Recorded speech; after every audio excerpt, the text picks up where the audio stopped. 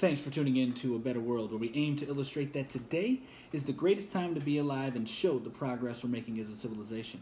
I'm your host, Luis Acevedo, and in today's episode, we're going to be going over an article that I read from Brookings Institute, and it is titled A Global Tipping Point Half the World is Now Middle Class or Wealthier.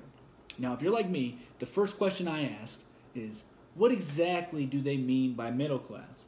And so, uh, to explain and you know to elaborate what that is is basically if you have a little bit of extra spending money you can buy a vehicle you can afford to buy a refrigerator you can afford to buy a uh, washing machine. You're going out to eat going to movies can take a vacation and you feel confident that if an economic shock comes your way you'll be able to survive and not be vulnerable to fall into poverty or go right into poverty if something bad happens with the economy. And lastly, if you're spending 11 to 110 dollars per day per person, that is what they also qualify as middle class. So about 3.8 billion people, half of the population is considered to be middle class now, which is astonishing if you look at it from the standpoint of 10,000 years ago when the fir- you know when we first uh, became an agricultural based civilization, majority of the people were in poverty. This is the first time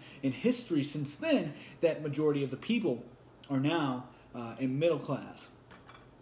So that's awesome. However, it is important to note that half of the population, about half, is still in poverty or vulnerable of falling into extreme poverty. So there's like uh, 3.5 billion people, something like that that are vulnerable to fall back into poverty, and there's a few million people who are in poverty right now. However, this is declining, obviously, with the growth in the middle class. They actually project by 2020 that the middle class population will grow to 4 billion people, and by 2030, they believe that it will grow to 5.3 billion people. So, this is awesome news. Um, it, it, not just so much for um, I guess, humanity when it comes to just um, a person aspect of it, you know, just the livelihood, but also the economy as well. So if you look at the economies, uh, it's also beneficial to them too because now more people are being able to afford everyday consumptions because two thirds of household consumptions come from the middle class. Now, mind you, the rich and the wealthy spend more per person, but there's less of them, so they don't have as big of an impact when it comes to regular everyday consumptions as the middle class does. So that's huge for the global economy. And also, it is um, beneficial to the middle class and to the uh, people of a country as well who have a growing middle class because typically uh, the middle class is going to be more politically active than you know uh, uh a poverty-stricken uh, group of people simply because they have more to lose now and now i guess you could say that they're not so much dependent on the government but they're counting on the government to make smart, logical moves, and that way their livelihood isn't affected that much and isn't changing. And you know, any kind of regulations or barriers that are put up from the government can also affect businesses, which in turn can affect the middle class because those businesses are contributing to society and paying taxes as well and providing a service or a good to the society as a whole, and the middle class is the majority of the people who are going to go out and pay for that service or good.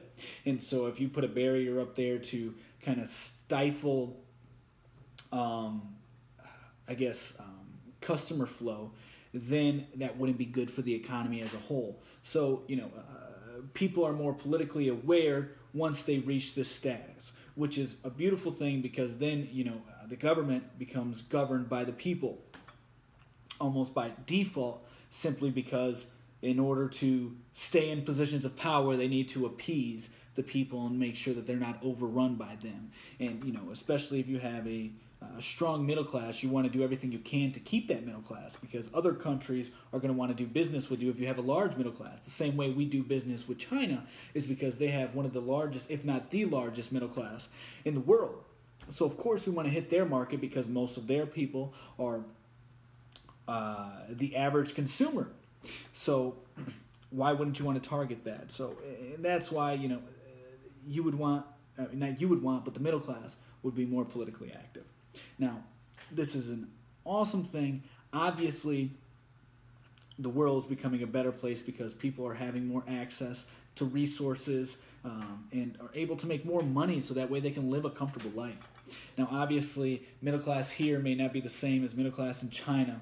And hell, middle class in the United States even varies by state. But more people are entering it right now than ever. I mean, right now, the more people than ever are in the middle class. So that's an awesome thing, and that's just showing that today, without a doubt, is one of is the greatest time to be alive, and it's only getting better. And with the advancements of technology, this is only going to improve. So that's the article I wanted to cover for today. I hope you all enjoyed it. And like always, if you like what you heard or saw, please subscribe to the Apple Podcast or uh, subscribe to the YouTube channel. And be sure to check me out on my IGTV channel. You can find it at my Instagram page at Luis Acevedo underscore 22. That's L U I S A C E V E D O underscore 22. And if you have any suggestions um, on a topic you would like me to do that you know that has been progress, let me know. And I will do my research and we'll go from there. All right. You all have a wonderful day. Peace.